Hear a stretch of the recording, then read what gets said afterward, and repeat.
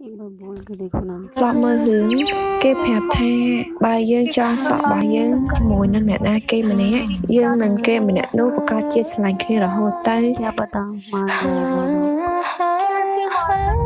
ចាំបាច់ធ្វើអញ្ចឹងបាទយើងអាចស្លាញ់គ្នារហូតមែនពួកយើងស្លាញ់គ្នារហូតដល់ខ្លួនឯងអត់ចាំបាច់ពឹងពាក់លើទៅខ្សែសក់នឹងក៏បានដែរត្រូវអត់រី